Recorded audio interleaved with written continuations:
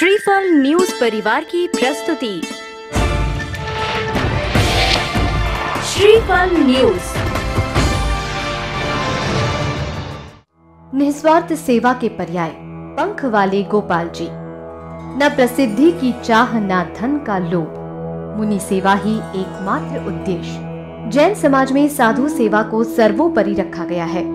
जीवंत तीर्थ की सेवा से सहज पुण्यार्जन होता है। ऐसे कुछ ही बिरले श्रावक होते हैं जो सिर्फ़ सेवा करने में ही विश्वास रखते हैं। ख्याति, यश और लाभ की आकांक्षा उन्हें कभी नहीं रहती। वो तो बस अपना कर्तव्य निर्वहन कर खुश हो जाते हैं। ऐसे गिने चुने श्रावकों में से एक है गोपाल लाल जैन। श्रीफल न्यूज़ आज इन्हीं का परिचय आपसे करवा रहा है, जो सकल जैन समाज के लिए आदर्श और प्रेरणा का स्रोत है।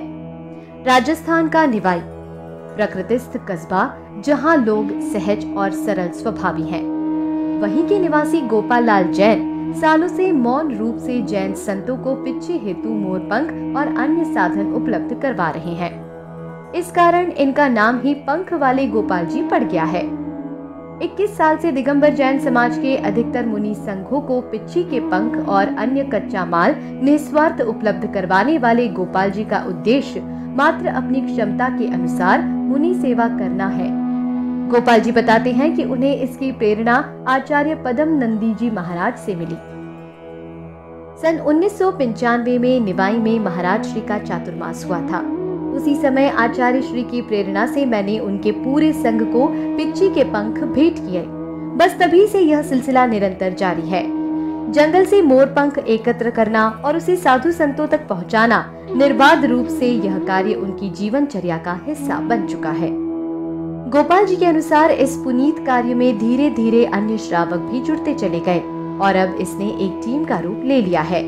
आस्था से परिपूर्ण इस कार्य में लगे प्रत्येक श्रावक की भावना मुनि सेवा ही है। एक संघ से शुरू हुआ यह कार्य अब 50 संघ तक पहुँच चुका है।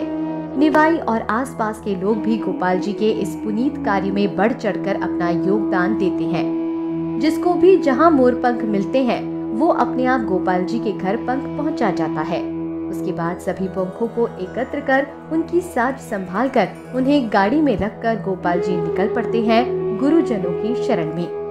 नवरात्र के दिनों में पंखों को यथेष्ट स्थान पर पहुंचाना ही उनका परम ध्येय होता है, जिसे वे बिना रुके पूर्ण करते हैं। शायद यही उनकी भक्ति का स्वरूप है। श्रीफल परिवार से अपने अनुभव बांटते हुए गोपाल जी ने कहा कि मैं इस कार्य का प्रचार प्रसार कर किसी प्रसिद्धि की चाह नहीं रखता। मेरी सिर्फ़ इतनी चाह है कि सभी श्रावक अपने अपने सामर्थ्य अनुसार मुनि सेवा करें। वे जो भी सहयोग कर सकते हैं, अवश्य करें। यह श्रावक धर्म के निर्वहन का तरीका है और इसमें देखा जाए तो लाभ श्रावक का ही है। उसे गुरु कृपा और आशीर्वाद स्वतः मिल जाता है। गोपाल जी के विचार सत्य ही तो है। अगर हर व्यक्ति सामर्थ्य अनुरूप मुनि सेवा करेगा तो धर्म रक्षा, धर्म प्रभावना का कर्तव्य कर्म सहज ही पूर्ण कर लेगा। श्रीफल न्यूज़ की इस प्रस्तुति के पीछे बस यही भावना है कि समाज गोपाल जी जैसे श्रावकों से सीख ले और जैन धर्म के संरक्षण और संवर्धन में अपना बहुमूल्य योगदान अवश्य करे। इसी अपेक्षा के साथ सभी को जय जिनेन्द्र। राखी जैन की विशेष रिपोर्ट।